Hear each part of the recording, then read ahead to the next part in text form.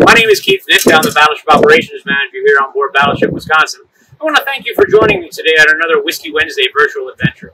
Uh, as you all know by now, if I've got the opportunity to talk with a former crew member, I jump all over that chance. And today I have with me uh, a former crew member, shipmate of mine. This is uh, bosun mate third class Robert Cika. Robert was in 5th Division on board Battleship Wisconsin, and for his general quarter station, his battle station, uh, in essence, was this mount right here. Uh, this is mount 5-3. 5 is the, uh, the size of the barrel. It's a 5-inch gun, and it's number 3. We're the second gun on the uh, starboard side of the ship. So if you watch my videos about the bullseyes, you'll know exactly where we're standing just based on the fact that we're three, so we're on the starboard side, and we're one back from number one, which is just above me. I'm going to let Robert tell you a little bit about what he did here in general quarters or his battle station.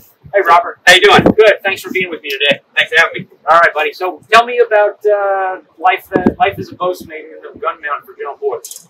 Well, it was hot and tired and noisy, I can tell you that. Okay. Yep. General quarters, we would uh, have to power the mount up, and I would throw projectiles in. I had a hot caseman and a powderman, and we would throw them in. They all came in three different, two different sections, a powder and a bullet. And uh, we throw them in one time and bring them home and electronically fire. What was your what was your job title in there? Projectile. You were, so you were a projectile. So Yep. you were you were actually taking the projectiles and putting them onto the cradle. Yes. Okay. Yep. All right. We take them out of the hoist, throw them into the cradle. As soon as the powder went in there, I pulled down a little lever, and it would automatically ram it into the breech and go fire. Let's go inside and take a look at that. Okay.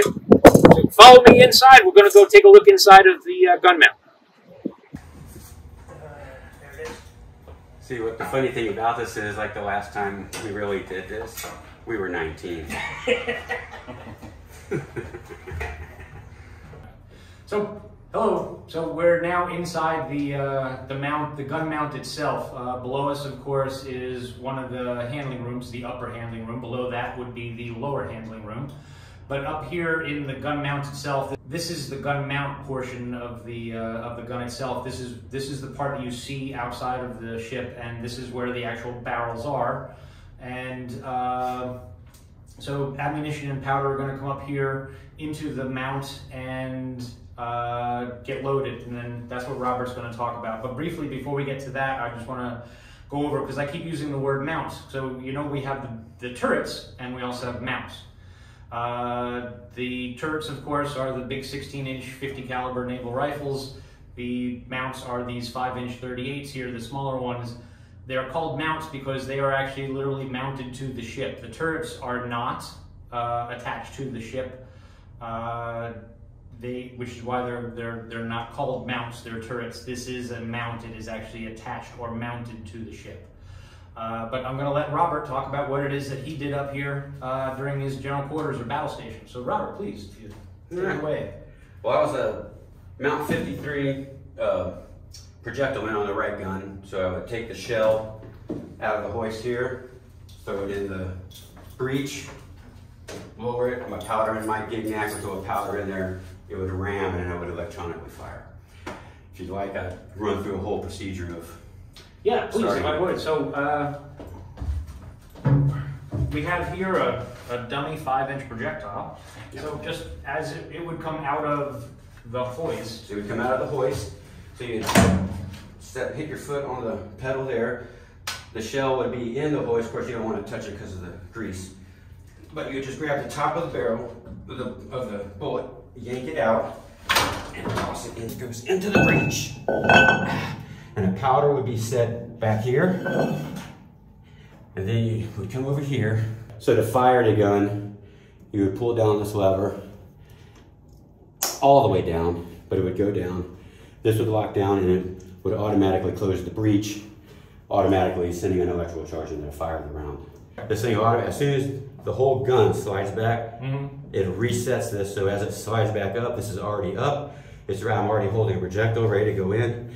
So when it comes back, the only thing that comes out is a, is a powder casing, which ejects out through here and down through this chute and out the back of the gun dome Yeah. which is why this rides up and down so the powder can slide out the bottom. You load that, they fire it, you're standing right there, you're ready to go with another projectile and then uh, it opens up. You feed it again, boom, and just keep doing that until you're given the, the until you're given the order to you know suspend suspense firing. Yep. Now we've all heard about a well-trained gun crew can do this many rounds per minute and this sort of this this and that sort of thing. What is what is reasonable to believe for uh, for Battleship Wisconsin as far as firing from this mount? Your gun crew. Let's talk about the guys that you got working here with you. What what is Like a good working load or a strained load? A, a good working load. A good working load. Probably three to five rounds a minute. Three to five rounds a minute. And if uh, that that strain load, we really need to get projectiles down range. you could probably pop that up to about seven to ten, maybe. Okay. Yeah. And that, but that's a lot of that's a lot of hustle. It's a lot of hustle. Now, uh, there's quite a few people that work in the mount itself. How many different positions do we have in the mount itself? I believe there's ten. Ten altogether. And you are your title again was Projectile man, projectile man on the right the right gun. right gun. So there would be another another sailor right here who would be the projectile man for the left gun. Yep. Uh, there's also I'm guessing somebody back here because all you're moving is projectiles. Right. So we got to get powder up there too. So there's a powder man for both sides here, back here as well. So There's also a hot caseman. Uh, so there's a third person There's a, there's a there's a crew of three for each gun, Uh-huh. and the hot caseman's job he stands back here, Okay. and the only thing he's supposed to do is to, to clear the chute if the uh, casing that's coming, the powder casing gets jammed up. Okay, so the it's, it's, it's an automatic discharge and it gets jammed up. He's there to make sure that it's Yep. clear for the next uh, the next powder casing. That's that actually the first job yeah. Okay, yeah. Well, I guess yeah. You got to move up in rank, so to speak. Uh, yeah, if they get start off with something, uh, so you can see what's going on, and then you eventually get to the guy who's actually loading this. You get the responsible part. Very- Now, uh, there, you were telling me a story before uh, that revolved around these switches here, and it's got to do with uh, all, all Battleship Wisconsin sailors know about the time where they actually told us to brace for impact, to brace for shock. Uh, that was uh, that's one of those stories that you started to tell me. So if you would uh, just a little bit, like remember keep it fri uh, family friendly. Okay. But yeah, just uh, if you would go through that. So tell me about that morning that day for you. All right, well, I was uh, asleep in my rack, was taking a nap. We had a break. I was having full combat gear. So they, they called us to general quarters. We had incoming missiles. One MC is going off. They're vampire, vampire, incoming missiles. It's like chaos on the deck. I, I bust out of our berthing onto the deck. I run to the gun mount. Um, everybody's running around. I get in the gun mount. The first thing I do, I hop over to gun. I hit these two buttons. Flip this up. I hit the two start buttons. This is for power for my gun and this side of the gun mount. We didn't have any power. So I jumped over here, turned on these two. We didn't have any power on this side either. By this time, the rest of the gun crew is in. Nothing is moving. We can't train the barrels, can't train the mount. Chief Rollick is in here. The doors are all shut. Um, he's like, Cika, turn on the gun, turn on the gun. I'm like, we have no power. So come to find out, they had tagged our mount out for maintenance that day. It had been tagged out. And uh, we were locked in here, and the next thing we knew, we heard Chief Rollick grabbed his headphones, had a wide-eyed look, and I heard brace for impact. And, was, and they overshot us. yeah, then, yeah, then the British tornado goes go, goes by. Yeah, and then we and then we the look of relief came over everybody's face as we spilled out of the gun mount, happy to get out of our Yes. out of the coffin. Uh, now, something else that you were telling me about before was that's a really good spot to sleep. Believe it or not, it is. Yeah. If you get on your side, it's actually sort of comfortable. You can get in the tray kind of cradles you almost perfectly. Yeah, I, I guess as a 20 year old young man, it's not that big of a deal either. Now, I can sleep upside down. yeah, well, as a 20 year old running around the ship wasn't a big deal for me either. But yeah, yeah, yeah. Now I don't, I don't look at that as being like I'm gonna sleep in that. no, not at all. Yeah. Okay. So uh, we came out of the uh, the mount itself because it's incredibly hot in there, uh, and I just wanted to thank you all for joining me today on this Whiskey Wednesday virtual adventure.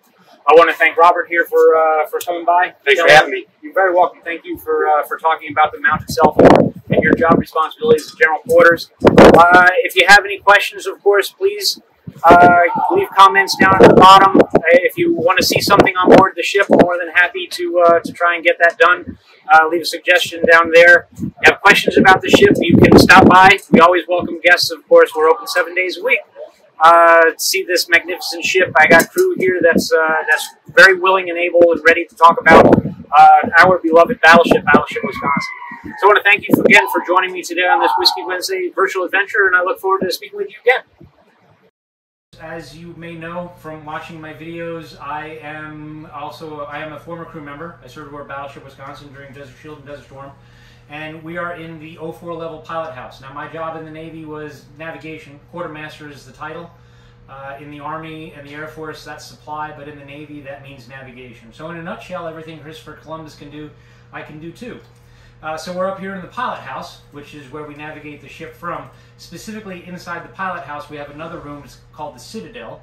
It's the heaviest armored portion of the ship, and what it does is the Citadel. What it does is protects the helm or the steering wheel and the lee helm or the gas pedal uh, from battle damage.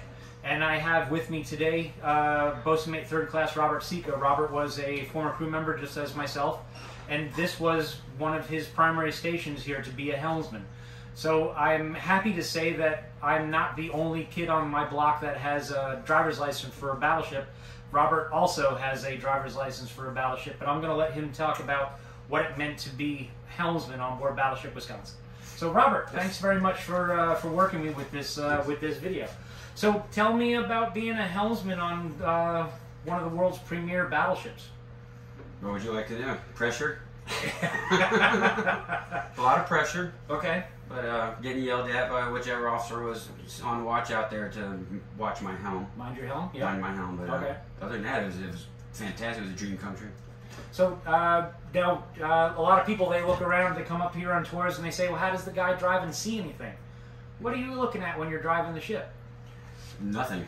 Nothing. Um, well, you're looking at something. So well, I'm looking at my uh, my rudder telegraph. Okay. Basically, I'm looking at what, what degree my rudder angle is at, and that's my primary job is to stand right here, hold this wheel, and stare right at this.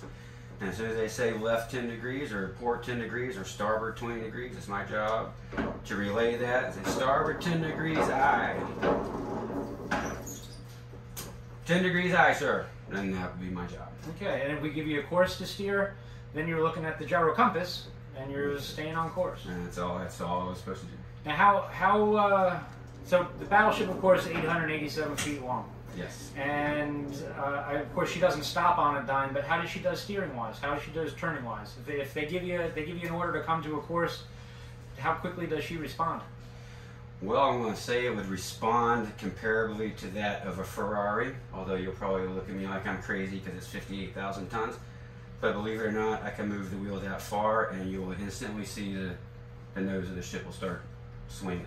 Okay. Which is many times I'd have the lee helm over here, he'd be telling me something, I'd turn it and I'd say, what? And I'd look and I'd just move the wheel a little bit and then the officer that was out there would turn around, mind my helm. And so I got to know that so well. Okay.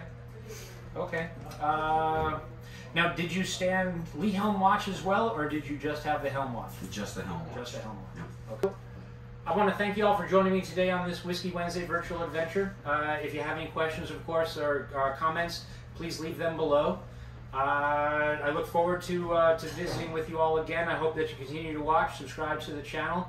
Robert, I want to thank you for joining me again today. Uh, it's been a lot of fun. Always a pleasure of mine to get to talk to former crew members. So I want to thank you for being here, doing me, and uh, doing this. And I want to thank you all for joining me today, and I look forward to talking to you again.